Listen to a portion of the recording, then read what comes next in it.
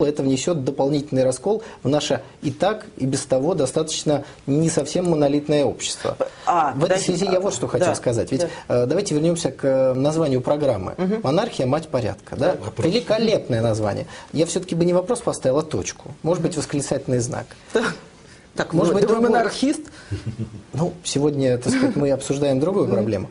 Так вот, э, порядок – это порядок, ведь э, его можно широко понимать. Это когда все высказывания, когда все мысли выражаются ясно. И в этом смысле уважаемый адвокат, который сегодня изложил определенную точку зрения, мне кажется, сделал для ее дискредитацию массу возможного. В том числе и Наоборот, к своему удивлению, я вижу депутата-коммуниста, который великолепно выражается и на фоне уважаемого адвоката выглядит ну, буквально небожителем. Поэтому я бы посоветовал, может, в другой раз адвокатов вербовать среди депутатов-коммунистов. И тогда, возможно, эти идеи найдут большее понимание среди наших зрителей.